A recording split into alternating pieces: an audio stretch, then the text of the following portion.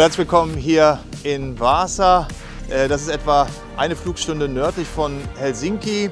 Wir sind hier beim lokalen äh, Axopa-Händler Hydrolink und wir haben hier die äh, Möglichkeit, schon vor der Premiere in Düsseldorf im Januar, hier im Schnee bei minus 10 Grad, die neue Axopa 29 zu testen und erste Eindrücke zu bekommen, ähm, aber auch natürlich im Vergleich zu den Vorgängern ist schwer zu sagen, weil das 29 ist ein komplett neues Boot, aber den Boot in der gleichen Größe, der Mark I hier, Axopa 28 aus dem Jahr 2015, da hat alles mit gestartet. Das war auch die erste 28, die wir ähm, so verkauft haben in Traben-Trabach und dann aber, sagen wir, das Volumen kam dann vor allem mit der ähm, neuen ähm, 28, der Mark II, die grundsätzlich mit demselben Namen, aber auch 10 cm breiter wurde, ein bisschen länger wurde, also ein ganz anderes Volumen bekommen hat.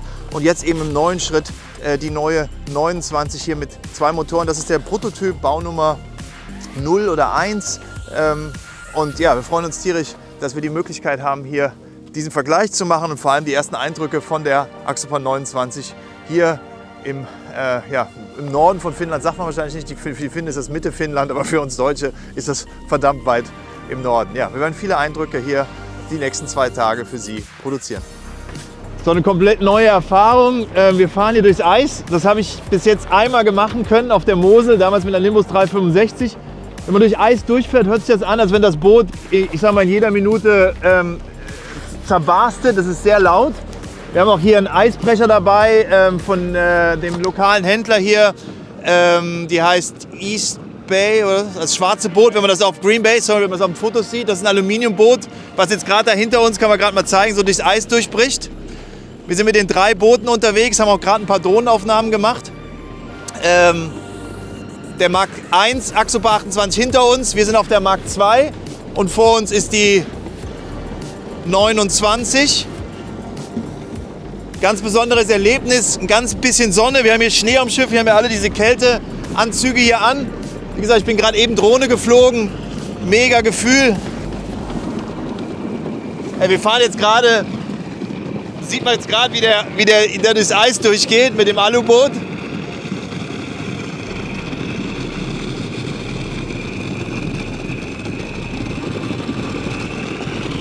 Ich weiß nicht, ob man sowas in Deutschland braucht, aber hier anscheinend schon. Ähm, ja, die Achsebahn 29 ähm, wird es viele Informationen, wie gesagt, jetzt im Laufe des zwei Tage geben, aber erstmal das Modell vor uns mit zwei Maschinen wird es wieder mit 2x200 PS geben, alternativ mit V10 oder auch äh, V8, V8 300, V10 350 oder V10 400. Ähm, es ist ein komplett neues Boot, es hat nichts mehr mit der Axopa 28 Mark I oder Mark II zu tun komplett neues Konzept mit denselben Grundideen, Grundwerten. Aber deswegen ist Axopa trotzdem von dem ähm, Weg, weg, weggegangen. Hallo, wir sind am Sprechen. Das, das ist halt die Finnen, ja. Wenn wir Video machen, machen die Party, ja. Das ist ganz normal, ja. Ähm, ja, ich kann jetzt nicht mehr weiter filmen hier. Ja, doch, kann ich schon. Ähm, äh, wie gesagt, 29, sie sind weggegangen von der Idee, immer derselbe Name, weil es einfach zu viel Veränderung ist. Es ist nicht eine verlängerte 28, was man sich oft in meiner Branche ja so gemacht wird, wenn man äh, ein 29-Fuß-Boot auf der 28 macht, sondern es ist ein komplett neues Boot. Selbe Breite, 295, nicht wirklich viel länger, also man hätte sie auch wieder 28 nennen können, aber eben ein komplett anderes Raumgefühl.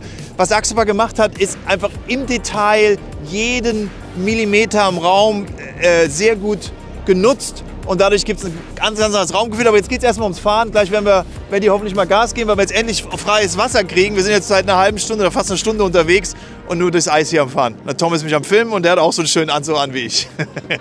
Äh, wir sind jetzt neben der äh, Achsbahn 29. Der altbekannte Janne Wittler steht an der Seite. Ähm, der, ja, mit dem ich schon viele Videos zusammen gemacht habe, mit, auch im Trockenanzug und erklärt dort gerade ja, mit ganz viel Herzblut die Axelbahn 29. Er ist immer dabei. Das macht ihn aus. Ähm, ähm, ja, Freund und Geschäftspartner, das ist was ganz Besonderes, was man haben kann. Und ja, jetzt ersten Bilder jetzt in dem Video hier beschleunigt. Ähm, Axelbahn 28, zwei Maschinen, äh, zwar 29, ich muss an den Namen noch gewöhnen. Es ist zu kalt zu filmen, ich habe Handschuhe an, deswegen habe ich mal gerade die Kamera übernommen. Wichtig ist, das Video ist ein Behind-the-Scenes-Video. Aber es zeigt, in welchem Umfeld die Boote hier genutzt werden, gebaut sind. Janne zeigt jetzt gerade die Achterliege hinten. Die 29 hat jetzt einen kleinen Bow-Rise, was sehr angenehm ist, weil sie dadurch auch ein bisschen schlecht wetterfähiger ist, also bei, höherer, bei stärkerer Welle. Aber geht dann sofort runter. Hat also einen Bereich von etwa vier Knoten, wo sie den Bow-Rise macht. Die Fahreigenschaften sind das Schiff ist mit derselben Motorisierung sogar noch ein bisschen schneller wie die alte 28, obwohl sie die gleiche Motorisierung hat. Wir sind jetzt etwa 35 Knoten gelaufen. Janne liegt hinten drauf.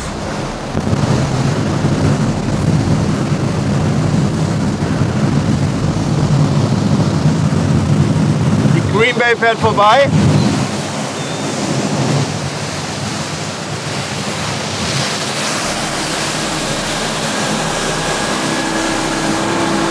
So, die erste Fahrt auf der Achsebahn 29. Äh, wir haben gerade Boote gewechselt, sind jetzt von der 28 Mark II rübergekommen. Und ähm, ganz klar, es ist keine Achsebahn 28 mehr, es ist ein komplett anderes Boot, ganz anderes Volumen. Obwohl, wie gesagt, die Ausmaße, äh, die Ausmaße sehr, sehr ähnlich sind. Am Fahrstand, also allein hier, wir waren jetzt gerade eben mit der Kälte viel im Salon drin und das Volumen allein hier ist ein gravierender Unterschied. Ähm, wie gesagt, es wird noch einen ganzen Walkthrough geben. Riesen Glasfläche hinten raus, wenn man jetzt gerade die Mark II hinter uns fahren sieht. Ähm, der Kollege, der hinten auf dem, auf dem Achterdeck hinten drauf sieht, wie, was für eine immense Glasfläche man hier hinten hat. Völlig beeindruckend. Eis, wie die Motoren vibrieren, weil sie immer mal wieder gegen Eis kommen. Aber wir haben immer noch eine äh, leichte Eisschicht jetzt hier drumherum, mit der wir mit ziemlichem Speed durchfahren. Ähm, Achterkabine und so weiter kommen wir alles gleich zu. Nochmal nach vorne zum Fahrstand. Bart, wie groß bist du, wenn ich fragen darf? 1,92 Meter. Also Bart kann am Fahrstand stehen äh, und er hat, ja, und er hat äh, hohe Schuhe an. Also ich würde sagen, er ist sogar wahrscheinlich heute 1,96 oder sowas groß. Also er kann wirklich ohne Probleme hier stehen.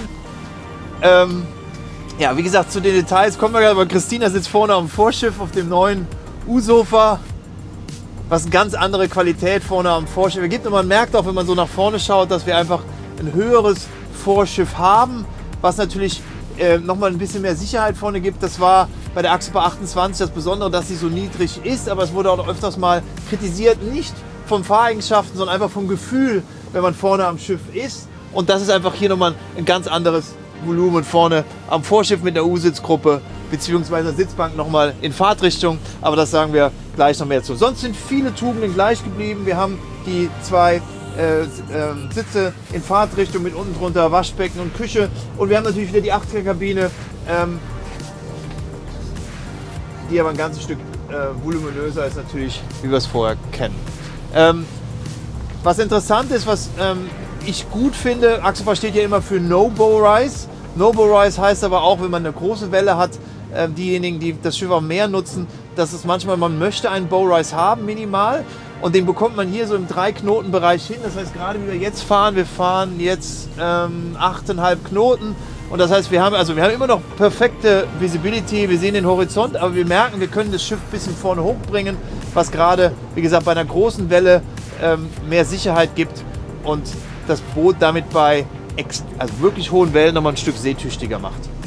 Nichtsdestotrotz ist es genauso wie die anderen Axopar-Modelle überragend gut bei kleiner Kappelwelle, weil es einfach ein sehr tiefes V vorne im Schiff hat und ein ganz besonderes Design des Vorschiffes vorne, was ist, glaube ich, völlig einzigartig auf dem Markt ist. Jeder, der schon mal eine Axopar gefahren ist, weiß, äh, da sieht man jetzt gerade das Vorschiff der alten 28 vorne, das ist ja ganz markantes Design mit diesen zwei Shines an der Seite. Ähm, glaube, kein Hersteller hat das so und das führt eigentlich zu dem, oder das führt gerade dazu, was, für was Axopa steht, nämlich Fahreigenschaften, Fahreigenschaften, Fahreigenschaften, dann Funktionalität und jetzt mit der 29 hier einfach noch etwas mehr Raum an Bord in dieser Bootsklasse. Und was, was da gemacht wurde, ist einfach, der Raum wurde viel mehr ausgenutzt wie man das vorher noch kannte, in einer Art und Weise, wie ich das bis dato in der Bootsgröße noch nicht gesehen habe.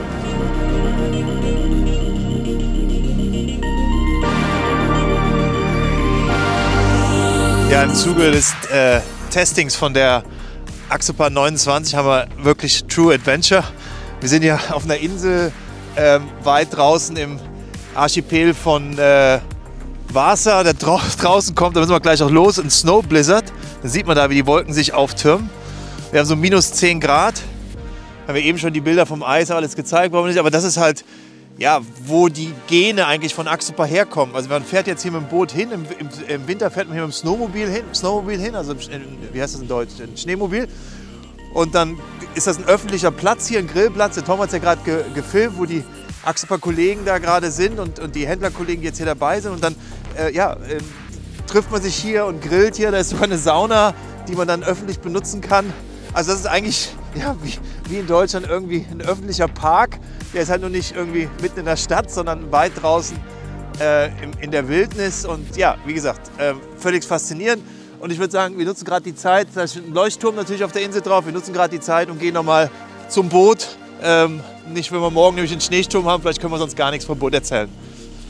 So, jetzt gehen wir hier durch, den, durch die Büsche und dann sind wir hier im Hafen. Ja? Also der Hafen ist halt mehr so ein Steinwall. Da liegt jetzt nochmal die äh, Mark 1. Damit hat alles begonnen, auch für Botepolch mit Axopar. Ähm, erste Mal bin ich das Schiff gefahren in Göteborg, auch im Archipel, also im, im, im Scherengarten von Göteborg im Herbst 2014. Ne, Herbst 2015. Herbst, Herbst 2014, ich weiß nicht genau. Das ist ein 15er Boot auf jeden Fall. Ähm, und äh, dann stand ja in Düsseldorf die ersten drei Modelle, ähm, Cabin und T-Top. Und äh, dann ging es auch nach Mallorca. Das ist jetzt die Mark II nochmal da von der Seite, ähm, wie sie auch bis dato ja, sie gibt. Und dann gehen wir hier weiter durch die Büsche. und ähm, ja, da liegt sie äh, im Schnee hier. Dem, gucken, dass wir mit den komischen Schuhen nicht ausrutschen. Ähm, ungern hier ins Wasser fliegen vor der Kamera. So, gerade noch mal ein Gefühl zu bekommen, wenn ich hier im Vorschiff laufe, wie viel Platz wir hier haben. Ähm, wir haben eine U-Sitzgruppe, ähm, da kommt noch vorne ein Zusatzpolster drin. Wir haben einen großen Ankerkasten, wir haben den Anti-Rutsch vorne bis vorne hin. Ähm, dicke Reling vorne, umgelaufene Shoreline, wie wir es kennen. Aber hier merkt man einfach, man steht etwas höher und hat extrem viel Raum zum Bewegen. Ähm, die L-Sitzgruppe ist standardmäßig und dann haben wir ganz neue Verschlüsse hier, was echt ähm, ein Riesenfortschritt ist, dass nicht mehr unter das Polster muss. Und diese Sitzbank hier ist optional, wobei die jeder, denke ich, nehmen wird. Dann haben wir hier einen Tisch, der ähm, also in der Form wie der Ausschnitt hier liegt hier im Stauraum drin. Der kriegt noch einen weiteren Fuß. Das heißt, was finde ich ein riesen Schritt nach vorne ist, ist die Möglichkeit, dann diesen Tisch runterzulassen. Man kommt trotzdem immer noch nach vorne, um hier vorne einfach als Sonnenliege in Fahrtrichtung mit drei Personen sitzen oder liegen zu können. Aber auch allein, dass man hier sitzen kann, finde ich extrem wichtig, weil in der Vergangenheit, ich denke, das war schon so eine kleine Kritik, dass man eben immer so seitlich nach vorne saß vom Konzept her. Und das ist natürlich jetzt durch die ähm, U-Sitzgruppe eine ganz andere Möglichkeit. Dann haben wir hier unten drunter, das ist eine kleine Überraschung, die machen wir später noch, so einen kleinen ähm, Blick rein, eine kleine Kabine, Toilette äh, der Name, äh, vielleicht machen wir da so einen kleinen Wettbewerb noch, wie die, wie die heißen soll. Ich glaube, der Name steht nämlich noch nicht fest. Gibt es viele Ideen. Dann typisches Axopar-Dach. Ähm, wir haben ja das Axopar-Dach ist ja sozusagen auf dem Kopf. Tom macht keinen Scheiß da mit dem Schnee. ähm, mit, der, mit der Regenrinne sozusagen drumherum. Das, das Dach ist ja upside down. Dadurch haben wir hier überall drumherum die bekannte Grab Rail. Dann, das sieht optisch, finde ich, super ansprechend aus. Wir haben hier ähm, ähm, zwei äh, Lichtluke oder ähm, wie heißt das? Skylights, wie heißt das in Deutsch? Äh, Oberlichter. Das heißt, es kommt Licht in die Kabine oben rein, aber das verlängert von der Form her die, die große negative Frontscheibe ähm, wird dann durch das Ganze so nochmal verlängert. Sieht dadurch sehr, sehr ähm, sportlich aus. Cross Cabin, auch der Name. Wenn man jetzt an Bord bist, kann ich den Ankerkasten gerade einmal zeigen. Für die vielen Mittelmeerfahrer extrem wichtig. Wir haben eine klassische Ankerwinde äh, nicht mehr diese, diese ähm, Horizontalwinde, ähm, sondern eine vertikale Winde äh, und eine ordentliche Ankerbox mit Inner Innenschale und der Quick-Bedienung dort.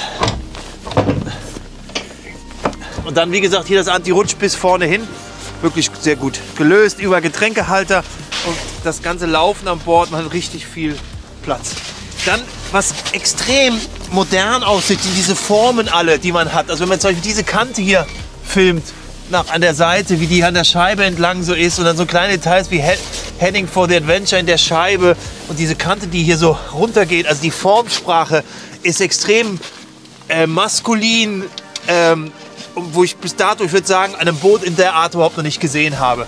Wenn man das alles so sieht, hier oben auch die Kante am Dach oder auch die ganze Tür, dieses Reassess für die Öffnung hier und diese Kante in der Tür drin. Und wenn man dann abends das beleuchtet, die Tür sieht gar nicht aus wie eine Tür mit diesem Wing hinten dran. Also ich glaube, an der Tür hier wurde mehr designt wie manche andere Leute. Ich mache es mal auf. Andere Leute ein ganzes Boot designen.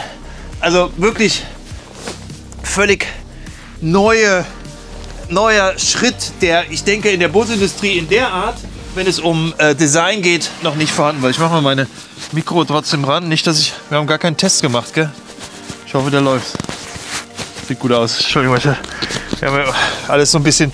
So, dann haben wir klassisch hier, wir können hier an der Seite draufsteigen, Anti-Rutsch hier oben drauf, ordentlich dicke Steuerleiste drumherum, Mittelklampe. Und was ein Riesenunterschied ist, wenn ich hier an der Seite laufe. Das heißt, ich kann hier laufen wie bei der 37 mit Hüfte, äh, also meine Hüfte, ich, ich kann einen Schritt voreinander machen, auch mit dem Schnee jetzt hier. Ich, ich habe keine Stufe nach vorne. Also ich kann perfekt laufen bei der 28, wenn man das, wenn man das vergleicht, ich habe ein Vergleichsvideo mit dem Janne Wittala gemacht, da muss man schon so vorbeilaufen. Man vergisst das sehr schnell. Also da ist, obwohl das Schiff gleich breit ist, der Raum einfach wesentlich effektiver genutzt. Auch hier nochmal eine Stufe, um vom zu gehen, sicher zum Borden vor der Ankerbox, weil die Ankerbox natürlich sonst zu viel Druck bekommt äh, Ankerbox hier, äh, Entschuldigung, Fenderbox, auch wieder dieser Verschluss, der super gut zugänglich ist. Auch so Details, die Hinsche gehen komplett auf. Dadurch kommt man einfach ganz anders an die äh, Fenderbox ran und die Fenderbox durch dieses Designelement hier nach hinten, diese Schräge, die Klampe schräg nach hinten, dadurch auch für die Mooring besser zu führen, geht hier hinten so schräg runter und wird dadurch einfach nochmal wesentlich länger. In dem Fall jetzt hier die kleinere Badeplattform, weil wir eine Doppelmotorisierung haben. In der Einzelmotorisierung kommt dann nochmal ein Element dazu, wäre zum Beispiel dann mit dem V10. Dieseltankbefüllung hier an der Seite, Leinenhalter mit drin und wie gesagt, das Schließen von dem ähm, Klappen und so weiter, alles sehr, sehr praktisch. Dann äh, achterliche Sonnenliege, um großen Verhältnis zu bekommen. Man kann hier sehr gut angelehnt liegen äh, bzw. sitzen. Die wird noch ein bisschen länger, ähm, haben wir alles schon, habe ich mit Janne sehr viel drüber diskutiert. Das heißt, wir waren hier, ich war in dem Schiff drei Tage nur in dem Schiff drin und wir haben ganz viele Ideen noch reingebracht. Die Polster werden ja sogar in Deutschland äh, produziert und das wird alles noch, die wird noch minimal länger. Das Bereich wird noch ein bisschen, das ist noch ein bisschen Prototyp, wird noch ein bisschen verändert. Wir sind im Bau Nummer 1, also da wird sich einfach noch sehr viel ändern. Dann haben wir die Rod Holders, Speaker nach außen, der Mast von der Axopa 37 und die Überraschung finde ich denke ich, ist für alle. Es wird also wieder ähm, verschiedene Achterdeck-Konzepte geben. Aber das ist das, was, denke ich, die meisten nehmen werden und was ich mega finde, dass wir einfach hinten jetzt ein Hatch haben, wo wir eine riesen, also die Achterkabine eben auch als Stauraum nutzen können für denjenigen, der eben mal an Bord schläft oder mal eben auch einfach Waters Toys hier reinladen will. Die Klappe geht extrem weit auf, hat hier an der Seite noch eine Zwangsbelüftung auf beiden Seiten. Also das ist, finde ich, eine mega Lösung, weil ich sag mal, 80% der Zeit nimmt man das Boot zum Wassersport, um Wakeboard und, und, ähm, und eine Tube und Schwimmwesten, Schwimmsachen da unten reinzuschmeißen. Und wenn man dann vielleicht nur zu zweit auf eine Tour geht, dann hat man einfach den Platz, holt man die Matratzen wieder rein und kann an Bord übernachten. Äh, gut. Hier, man läuft alles auf einer Ebene, hat nur die Stufe hinten zur Badeplattform, wie man es vorher kennt. Der Durchgang hier ist auch noch mal ein ganzes Stück größer, wie er vorher war. Was extrem auffällt, nochmal, ich muss immer wiederholen, sind diese Formen an Bord, diese Formensprache, wie gesagt, diese Kante hier, auch nochmal dieser Deckel, wenn ich den aufmache, hier diese Ecken, das, das wirkt extrem modern. Oder auch hier unten die, die Scheibe, wir haben eine große Scheibe nach hinten, aber an der Seite ist keine Scheibe, das ist einfach nur nochmal die, das Design der Formensprache. Hier auch, wie ich eben das geöffnet habe, der, ähm, mit, da kann man, drückt man so drauf, ist auch gut. Also man drückt mit dem Daumen da drauf, wenn man das hält. und dann hat man den dicken Griff. Also ist echt super schön und super cool gemacht. Entwässerung der, des Daches überall jetzt nach unten, nicht mehr an der Seite raus, dass man nicht so einen Schutfreund. Und dann, was ein super Unterschied ist, ist diese Glasfläche nach hinten. Wir haben halt keine C-Säule mehr hier, sondern die B-Säule ist die tragende Kraft und die ist sowieso an der Stelle, wo die Türe hinten ausläuft. Das heißt, die Glasfläche, kann man gleich von innen nochmal zeigen, ist phänomenal. Gut, dann, das haben wir schon gezeigt. Auf der anderen Seite, wie gut man laufen kann. Dann gehen wir, denke ich mal, in den Innenraum. Da wird es auch ein bisschen wärmer sein, hoffentlich. So, die ersten Eindrücke. Ich darf endlich am Steuer sein von der Axopar 29. Ähm, das ist, wie gesagt, noch nicht die finale Version. Wir, ähm, ich bin es gestern schon gefahren mit einem anderen Propeller-Setup. Es werden noch Propeller getestet. Das ist jetzt der Inertia. Ähm, gestern war es mit Inertia Echo. Das hat mir besser gefallen. Ähm, aber das, wie gesagt, das wird alles noch getestet. Deswegen kann ich jetzt nicht so viel Aussagen machen zum Kraftstoffverbrauch. Gestern also was ich gestern erlebt habe, waren wir unter einem Liter bei über 30 Knoten, ähm, äh, was finde ich absolut phänomenal ist bei der Bootsgröße der Doppelmotorisierung. Und äh, jetzt liegen wir so bei, äh, gerade jetzt gehen wir gegen die Welle bei 2 Litern. Aber wie gesagt, das Setup gestern hat mir besser gefallen. Wichtig ist, was sind die Fahreigenschaften der 29? Und erstmal, weil Axopa ist nun mal Fahreigenschaften, Fahreigenschaften, Fahreigenschaften. Und die Agilität ist da, wie sie bei allen anderen Achsenbaumodellen auch ist. Extrem agil, aber dann trotzdem super spurtreu. Das heißt, wenn ich eine Kurve eingeschlagen habe, die Lenkung bleibt stehen.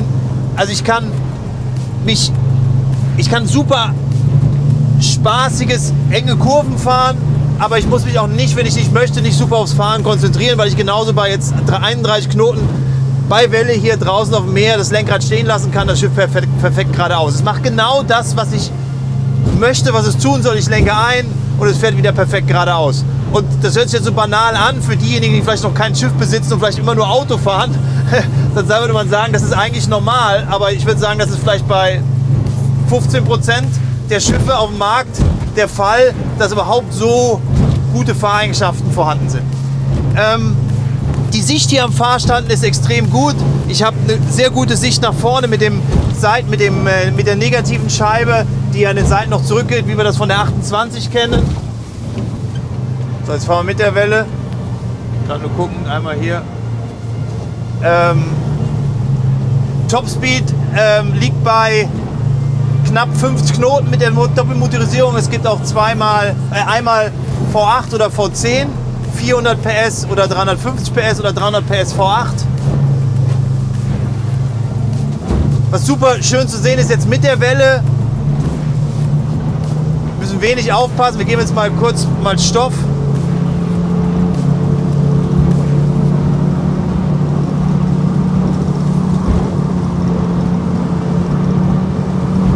Bleibt super. Also egal welche Geschwindigkeit, ich bin jetzt super agil, macht richtig Spaß.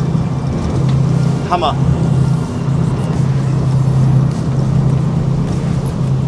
Huckt auch nicht ein drauf sitzt. He decided to go there. Is he okay? Yeah. Janne Winterland sitzt hinten drauf, er hält sich fest, alles gut. We hope he's still there. Is he still there?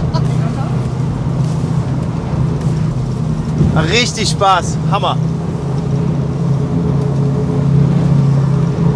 Tom hat gerade ein Video in Englisch gemacht. Äh, der freut sich tierisch, das erste Boot in Mallorca sein wird. Hoffentlich irgendwann im Bereich Februar des nächsten Jahres. Dann machen wir natürlich auch noch vorher ein paar Aufnahmen in, an der Mosel. Jetzt ist aber Eis hier, wir dürfen jetzt nur, können jetzt nicht voll hier durchfahren. Hier liegen die anderen Schiffe, die uns filmen wollen, aber ich fahre jetzt nicht schneller rein. Das mit zu viel Eis. Ja, das war's vom Fahren und wir machen natürlich noch Bilder von innen. Vielen Dank. So, zum Abschluss des Tages haben wir hier zum Sonnenuntergang, der nun gerade so ein, also wir haben ja gerade mal 3 Uhr haben wir die 29 hier hinter uns. Nochmal die Silhouette, wie modern das Schiff ist. Auch nochmal gerade die, die, ähm, die Sicke vorne. Ähm, mega, mega schön gebachtes Schiff. Ähm, richtig modern, aber trotzdem alle Charakterzüge, die eine Axopar ausmacht, findet man dann wieder, aber ein riesiger Designschritt nach vorne. Wir fahren wieder durchs Eis, wir wieder in Richtung Hafen fahren. Ähm, ja, war ein mega Tag. Richtiges Adventure mit der Achsebahn 29. Morgen werden wir noch mehr produzieren. Wie wir das nachher alles zusammenschneiden, wissen wir, glaube ich, selbst noch nicht. Ich habe mega Drohnenaufnahmen gemacht, bin ganz viel Drohne geflogen. Der Tom hat den Finger geschnitten beim Landen. Alles war dabei. Wir waren grillen. Toller Tag rund um die Axopa 29. Vielen Dank für ja, wahrscheinlich das erste Video vom ersten Tag. Und jetzt filme ich einen Tom. Ich will gerade ihn filmen, wie er die ganze Zeit hier auch steht. Und im Video in Englisch. Wir filmen uns ja gegenseitig. Und jetzt mache ich das Ganze für ihn noch in Englisch.